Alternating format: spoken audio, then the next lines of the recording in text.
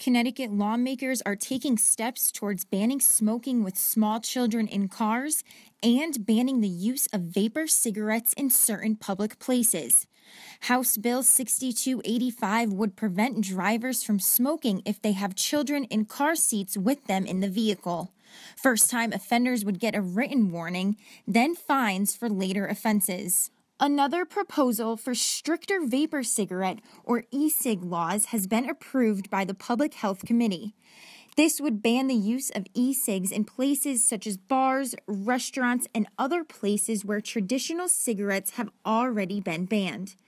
According to supporters of the laws, both measures aim to prevent exposing children to the health risks associated with smoking. They will now move on to the House of Representatives for consideration. In Greenwich, I'm Taylor Knight for It's Relevant News.